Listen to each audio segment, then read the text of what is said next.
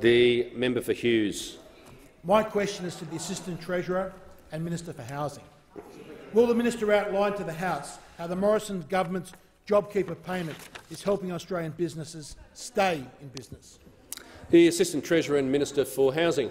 Thanks, uh, thanks very much, um, Mr Speaker. And can I thank uh, the member for Hughes for his question. Uh, no doubt the member for Hughes is a champion of many causes, but the small businesses in his electorate, uh, indeed all businesses in his electorate and everyone that's working hard each and every day uh, who he backs. And it's wonderful to report that, yes, the JobKeeper has been something that has been spoken about in this House uh, many, many times, but rightly so. And as the Treasurer uh, has outlined on a number of occasions, uh, the enthusiastic take-up of this program has been something that is perhaps uh, unsurprising, but the way in which it is being administered, the way in which it is being rolled out has provided an extraordinary lifeline now for 850,000 Australian businesses. 850,000 businesses that covers some 5.7 million employees, and both of those numbers are growing.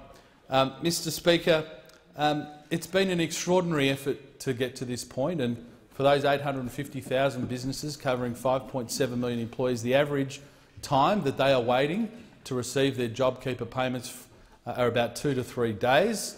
Uh, that, again, uh, to add to perhaps what the uh, Minister for Government Services has said, has been and relied upon a huge effort from our public service. And in this case, I want to say a huge effort from uh, the employees and the leadership of the Australian Taxation Office. Indeed, in my uh, daily reports from the ATO, it's extraordinary just to see the amount of volume of traffic that they have uh, been assisting Australian taxpayers with. For example, uh, the average call volumes in the last couple of weeks has been 87,000 phone calls a day that they've been uh, attending to.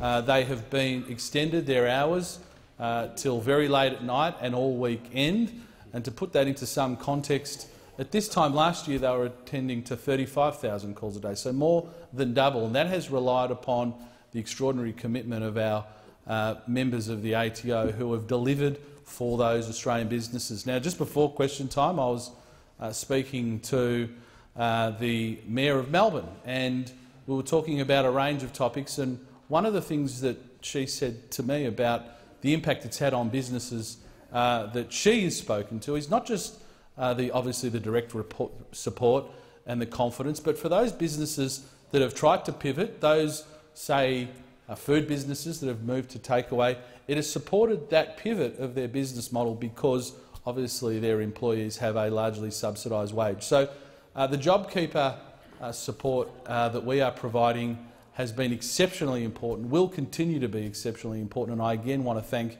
our public servants who have delivered this in such a quick fashion for Australian businesses.